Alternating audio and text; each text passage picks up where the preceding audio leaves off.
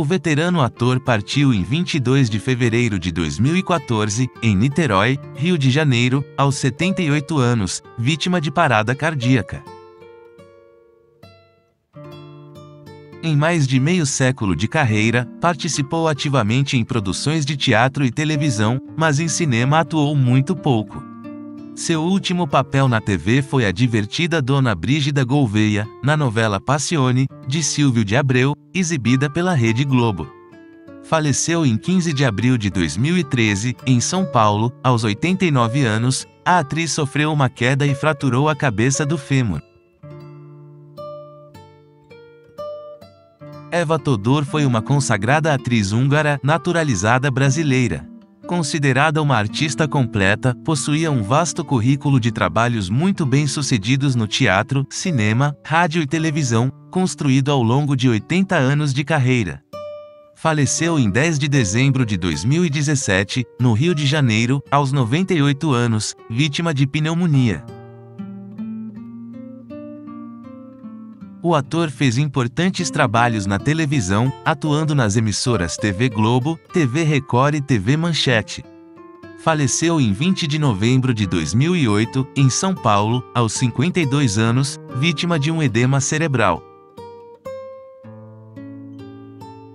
Participou das novelas Bebê a Bordo, Vamp, Olho no Olho e da minissérie Contos de Verão, todas da Rede Globo. Também atuou no cinema no filme O Judeu, onde fazia o papel principal. Faleceu em 1 de novembro de 1993, aos 33 anos, vítima de ataque cardíaco. Fernando Almeida estreou na TV ainda criança. O primeiro papel de destaque foi aos 10 anos de idade, na novela Livre para Voar, em 1984. Ele participou de várias minisséries e produções de sucesso como O Outro, Vale Tudo e Pedra sobre Pedra. O último trabalho na TV Globo foi na novela A Padroeira, em 2001. O ator foi assassinado em 4 de abril de 2004, no Rio de Janeiro, aos 29 anos de idade. O veterano Ítalo Rossi nos deixou em 2 de agosto de 2011, no Rio de Janeiro, aos 80 anos de idade, por complicações respiratórias. Seu último papel na TV foi no programa humorístico Toma Lá, da Cá em 2008. Estreou no teatro em 1942, na companhia Eva Todor e Luiz Iglesias, em que permanece por quase 10 anos, alternando atuações como comediante e ator dramático. Faleceu em 6 de novembro de 2013, aos 92 anos, por complicações cardiorrespiratórias e renais.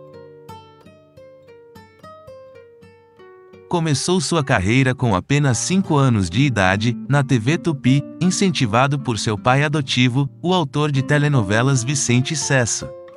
Faleceu em 11 de novembro de 2012, aos 61 anos, vítima de embolia pulmonar.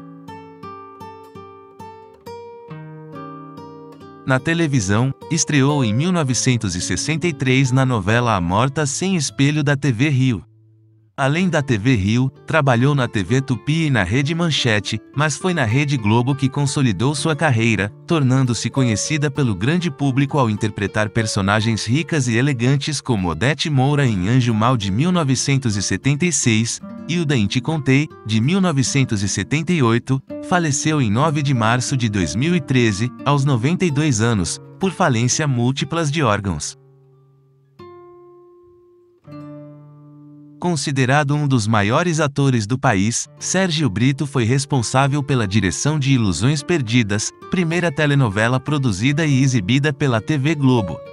Faleceu em 17 de dezembro de 2011, aos 88 anos, por problemas cardiorrespiratórios. O grande ator faleceu em 26 de julho de 2009, aos 82 anos, vítima de ataque cardíaco. Faleceu em 2 de outubro de 1997, no bairro do Higienópolis, pouco antes de completar 41 anos, vítima do vírus da AIDS, doença que havia contraído 10 anos antes.